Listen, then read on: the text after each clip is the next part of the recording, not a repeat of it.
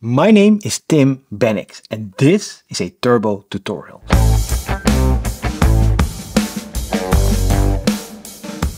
So in this tutorial, we will be looking at hybrid rendering in Nuxt 3.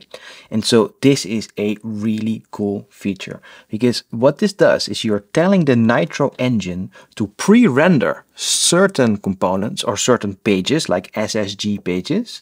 And then you can even say crawl the links that you find on those pages or on those routes and then also statically render those. But all the rest you keep dynamic. So you can have API routes, you have server routes, you can have anything in your pages directory that's not linked on that page or on that route that you want to crawl the links for and render is also dynamic. And so this gives you an amazing approach into doing things in a hybrid way. Maybe your homepage is super dynamic, but all your blog pages always stay the same. Well, render these statically because they don't change and then your homepage stays dynamic. So in this case, let's have a look at the browser or in the code here to see what I've done. Um, so basically here you can see I'm telling Nuxt config Nitro, which is the engine um, Nuxt runs on, pre-render the route home. And all the links that you find on that home route, you actually have to crawl and then also statically render those, right? So this thing when I do Nuxt build, it will actually do what you what we used to know as Nuxt generate for only these things. And then for the rest, it just is basically um, an, a dynamic application. So we're not running Nuxt generate, we're running Nuxt build. All right, so um, basically how this page or how this app looks, in this case, I have an index file that actually has a link to a Ross page which means the home page is statically rendered and then the Ross page is as well. But there's also a Rachel page.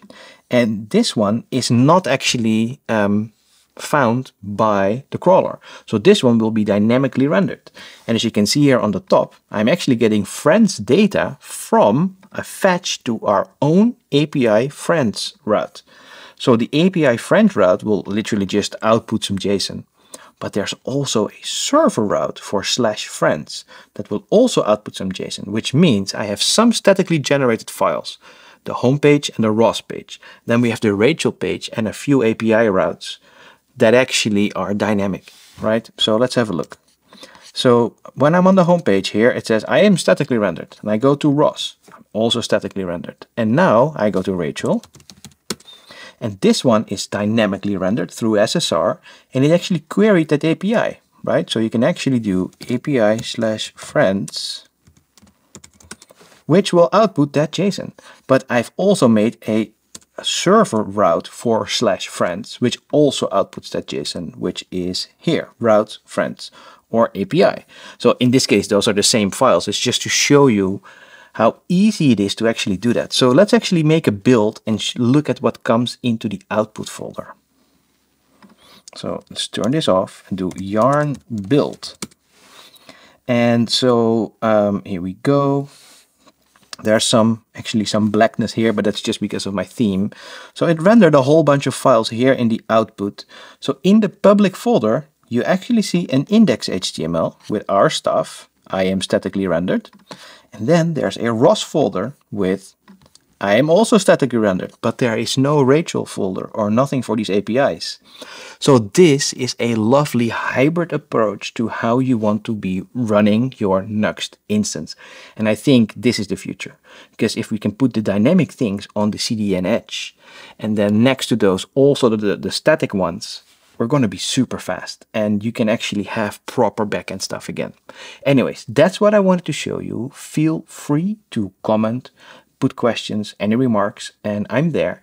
And there's one caveat to this video, and I'm putting that in the end because um, when a new RC version comes out or the actual GA version of Nuxt 3 comes out, it could be that this behavior changes because this is such a big thing.